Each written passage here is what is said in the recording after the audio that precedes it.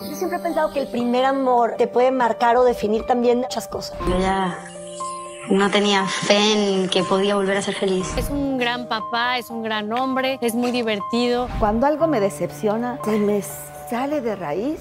Hay famosas que son tan pero tan hermosas que nadie entiende por qué le hicieron caso a estos hombres que realmente han sido considerados como los más feos dentro de la farándula. Y la pregunta es, ¿qué será lo que estas famosas le ven a sus galanes?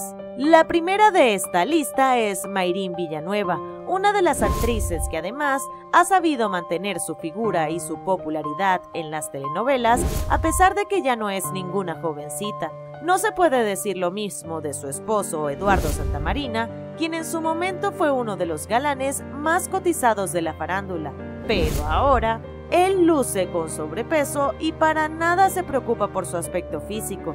Otra de las grandes famosas en esta lista es nada más y nada menos que Verónica Castro, quien desde que apareció en la televisión impactó a todos con su gran belleza, pero sorprendió muchísimo cuando salió a la luz que ella tenía una relación con Manuel el Loco Valdés, de quien dijo que sus ocurrencias y su caballerosidad la dejaron completamente cautivada, a pesar de que él estaba casado.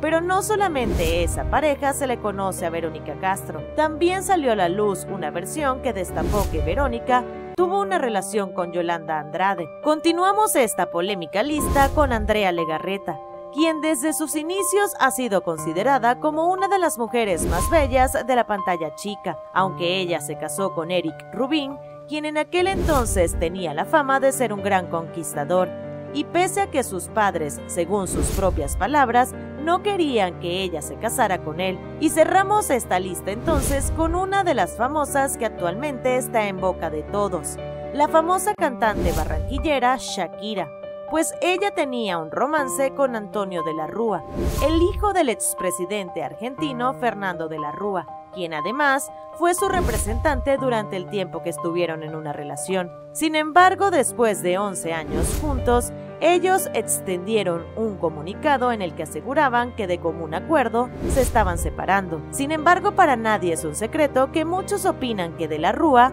no era el galán que Shakira debía tener a su lado. De hecho, mencionaron que ella había escogido al más feo de Argentina. Pero a ella eso no le importaba, hasta que casualmente la famosa cantante terminó por conocer a Gerard Piqué, quien ahora es su ex. Recuerda que este es el Muro de la Fama, suscríbete y dale like a este video y no te olvides de visitar nuestros otros videos para mantenerte siempre informado de lo que ocurre en el mundo del espectáculo. Nos vemos en la próxima ocasión.